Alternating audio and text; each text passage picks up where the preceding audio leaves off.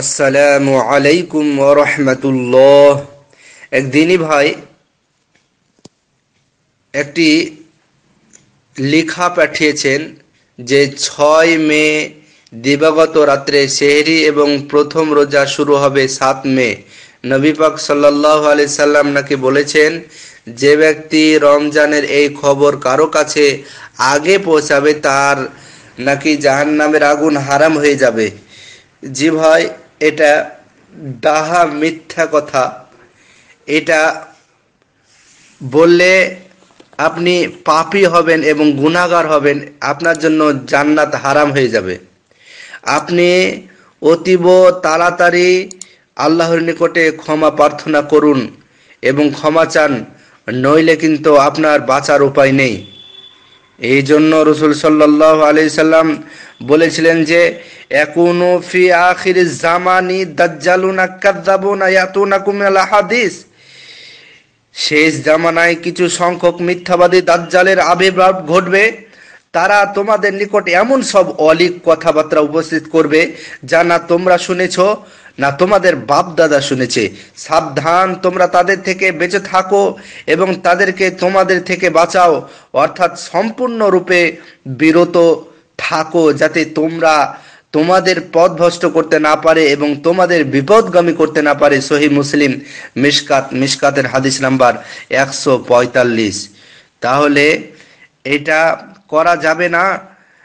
আপনি যদি এটা নিজে থেকে এটা পাঠিয়ে থাকেন, তাহলে আপনি জাহান নামি হয়ে যাবেন যদি আপনি তৌবা না করেন। কেননা নাবি করিম সাল্লাহ আলী সাল্লাম তিনি বলেছেন, লা তাকজিবু আলাইয়া ফাইন্নাহু মাইয়াকজিব আলাইয়া ইয়ালিজুন্নার আলী রাজি আল্লাহ তালান হতে বর্ণিত তিনি বলেন, রসুল সাল্লাম বলেছেন, তোমরা আমার উপর মিথ্যারোপ করো না, আমার উপর মিথ্যারোপকারী জাহান নামে যাবে সহি মুসলিম। তারপরে আরও তিনি বলেন, অন্য এক হাদিসে আনাস রাজি আল্লাহ তাল তিনি বলেন যে, নবী করিম সাল্লাহ আলি সাল্লাম বলেছেন যে, মন মন তাম্মাদা আলাইয়া কাদিবান ফালিয়াতাবাউয়া মাকআদাহু মিনান নার। যে ব্যক্তি স্বেচ্ছায় আমার উপর মিথ্যারোপ করে, সে যেন তার স্থান জাহান নামে নির্ধারণ করে নেয়। আপনি মিথ্যা করে আল্লাহর নামে তহমত দিয়ে, আল্লাহর নামের মিথ্যা অপবাদ দিয়ে আপনি হাদিস মনে করে চালিয়ে নিচ্ছেন, আপনার জন্য জান্নাত হারাম। রসুল সাল্লাহ আলি সাল্লাম আরও বলেন, ইন্না কাদিবান আলাইয়া, লেইসা কাকাদিবিন আলাইয়া, আলা আহাদিন ফামান কাজাবা আলাইয়া মুতাআম্মিদান ফালিয়াতাবাওয়া মাকআদাহু মিনান নার। রসুল সাল্লাম বলেছেন, আমার প্রতি মিথ্যারোপ করা তোমাদের কারও প্রতি মিথ্যারোপ করার মতো নয়।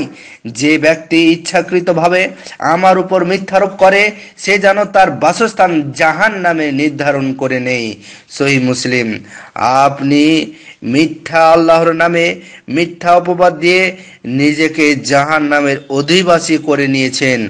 অতএব আপনি তাড়াতাড়ি তৌবা করুন, নইলে আপনার এই পাপ ক্ষমা হবে না।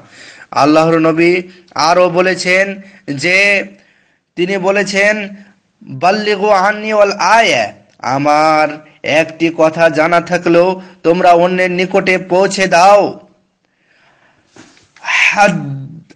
হাদিসু আন বানি ইসরাইল ওয়ালা হারাজ ওমান কাযাব আলাইহি মুতাআম্মিদান ফালিয়াতাবাওয়া মাকআদাহু মিনান নার এবং প্রয়োজনে বানি ইসরাইলের কাহিনী বর্ণনা করো, তাতে কোনো দোষ হবে না। আর যদি, আর যে ব্যক্তি আমার উপর মিথ্যারোপ করে, সে যেন তার বাসস্থান জাহান নাম জাহান নাম নির্ধারণ করে নেই। সহি বুখারি মিসকাত মিসকাতের হাদিস নাম্বার একশো আটানব্বই। অতএব আল্লাহর নবীর ওপর মিথ্যা আরোপ করে আপনি নিজেকে জাহান নামে করে নিয়েন না। অতএব অতীব তাড়াতাড়ি আপনি আল্লাহর নিকটে ক্ষমা ভিক্ষা চান, তাহলে আপনার পাপ হয়তো ক্ষমা হয়ে যাবে। আর যদি আপনি এটা শুনে শুনে বলেন কারও দ্বারা শুনেছেন, তাহলেও আপনি জাহান নামে যাবেন। কেননা রসুল সাল্লাহ আলি সাল্লাম বলেছেন, কাফা বিল মারুয়া কাদিবান আইয়ু হাদ্দিসা বিকুল্লিমা সামিআ। একজন দায়ের মিথ্যুক হওয়ার জন্য ইহাই যথেষ্ট যে সে যা শ্রবণ করবে, তাই প্রচার করবে। আপনি যদি শুনে শুনে এটা প্রচার করেন, তবু আপনি মিথ্যাবাদী সহি মুসলিম মিসকাত হাদিস নাম্বার একশো ছাপান্ন। তিনি আরও বলেন যে, উমার রাজি আল্লাহ তালান উমার ইবনু খত্তাব রাজি আল্লাহ তালান হতে বর্ণিত, তিনি বলেন যে, তিনি বলেছেন যে, রসুল সাল্লাহ সাল্লাম বলেছেন, এক ব্যক্তি মিথ্যাবাদী হওয়ার জন্য এতটুকু যথেষ্ট যে কেদিবা আয়ু হাদ্দিসা বিকুল্লিমা সামিয়া যে সে যা শ্রবণ করবে তাই বলবে, যা সে শুনবে তাই বর্ণনা করবে, সেই হলো মিথ্যাবাদী। তাহলে শুনে শুনে যে কোনো কথা প্রচার করতে নেই। প্রচার করলে আপনি গুণাগার হয়ে যাবেন। আপনার এখানে হাদিসের উদ্ধৃতি নেই, হাদিসের নাম্বার দেওয়া নেই। কোন হাদিসে বলা হয়েছে, হাদিসের উদ্ধৃতি ছাড়া কোনো কথা মানা যাবে না। আপনি হাদিসের কোনো কথা বলতে গেলে তার প্রমাণ লাগবে। আল্লাহ তালা তিনি বলেছেন, কুল সাবিলি আদৌ ইলাল্লাহ আদৌ ইলাল্লাহ আলা বাসিরা। হে নবী, আপনি বলুন, আমি আল্লাহর পথে ডাকি স্পষ্ট দলিল সহকারে। ইউসুফ, সুরা ইউসুফের একশো আট নাম্বার আয়াত।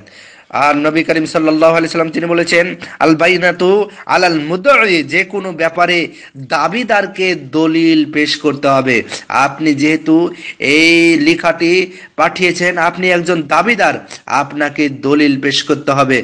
অথচ আপনি দলিল পেশ করেননি, তাই আপনার কথা মানা যাবে না। তিরমিজি মিশকাত, হাদিস নাম্বার তিন হাজার সাতশো উনসত্তর তিনি আরও বলেছেন তিনি আরও বলেছেন যে মান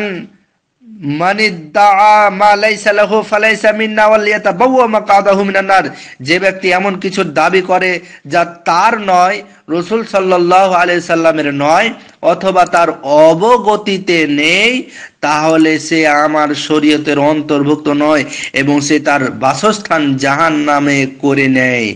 সহি মুসলিম মিসকাত মিসকাতের হাদিস নাম্বার তিন হাজার সাতশো পঁয়ষট্টি।